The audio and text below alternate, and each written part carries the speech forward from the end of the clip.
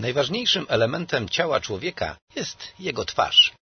Natomiast najważniejszym elementem twarzy są zęby.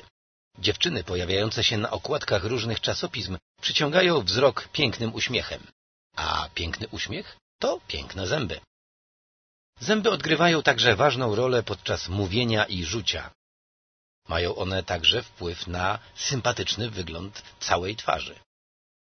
Krzywe, przebarwione i zaatakowane przez próchnicę zęby wyglądają nieładnie i mogą być źródłem poczucia niedowartościowania, a także stałego dyskomfortu. Estetyczna terapia stomatologiczna przywraca im naturalny wygląd, a na twarzy pojawia się sympatyczny uśmiech. To z kolei wpływa na poczucie wewnętrznej i zewnętrznej wartości i istotnie determinuje udane życie społeczne.